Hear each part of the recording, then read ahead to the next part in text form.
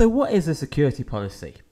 Well, a security policy is literally a step by step program of actions, like step one, step two, step three.